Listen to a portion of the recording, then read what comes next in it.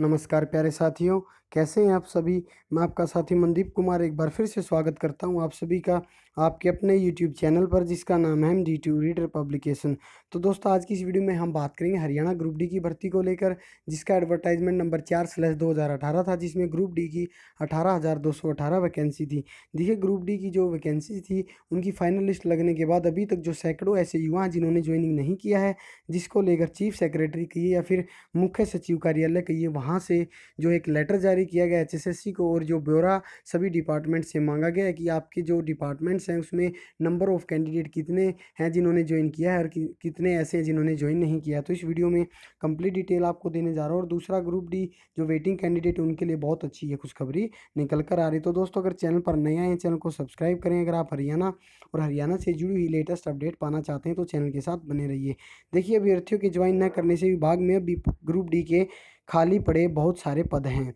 तो बहुत अधिक संख्या में जो पद अभी भी खाली हैं, जो आपके लिए स्पेशल फॉर वेटिंग कैंडिडेट बहुत ही अच्छी न्यूज़ है। हरियाणा के सरकारी विभाग में ग्रुप डी के पदों पर चयनचित अठारह हज़ार दो सौ अठारह अभ्यर्थियों में से सैकड़ों ने ज्वाइन ही नहीं किया है।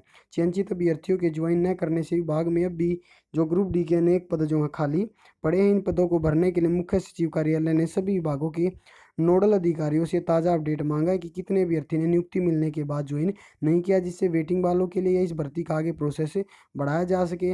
मुख्य सचिव डी एस ने सभी विभागों के नोडल अधिकारियों के इस संबंध में पत्र भी लिखा, उन्होंने कहा है कि जिन चयनित युवाओं ने ज्वाइनिंग नहीं दी है, उनका डाटा सरकार के पास उपलब्ध नहीं है। ये डाटा सभी विभागों के नोडल अफसर सरकार की ओर से तैयार किए गए ट्रैकर सिस्टम पर तत्काल उपलब्ध कराएँ, ताकि आगामी कार्रवाई शुरू की जा सके। देखिए, ट्रैकर सिस्टम को लेकर मैंने एक वीडियो और बनाई थी। उसमें मैंने एक लिंक दिया था, उस लिंक पर जाकर आप डायरेक्ट देख सकते हैं कि अभी तक कितने कैंडिडेट ने टोटल अठारह में से ज्वाइनिंग की है। ट्रैकर सिस्टम के लिंक पर नोडल अधिकारी अपने अपने विभाग का ग्रुप डी के पद अनुसार डाटा अपडेट करें।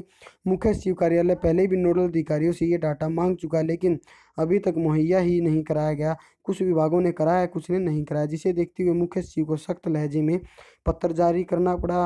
मोस्ट अर्जेंट और डेट बाउंड करके वो नोटिस जारी किया गया।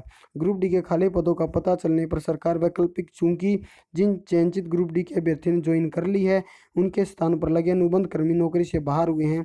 चयनित अभ्यर्थियों के ज्वाइन न करने से खाली पड़े पदों पर सरकार नौकरी से बाहर हुए अनुबंध कर्मियों को एडजस्ट कर सकती है या फिर वेटिंग वालों को नौकरी दे सकती है। तो दोस्तों, इस वीडियो में ग्रुप डी के लिए जो गुड न्यूज़ आ रही थी, स्पेशल फॉर वेटिंग लिस्ट, देखिए सेकंड लिस्ट नहीं आएगी, ये बात मैं आपको क्लियर बता देता हूँ। तो दोस्तों, इस वीडियो में फ़िलहाल इतना ही। इसी प्रकार की और भी अपडेट पाने के लिए जुड़े रहिए चैनल के साथ, जिसका नाम है M D to reader publication धन्यवाद।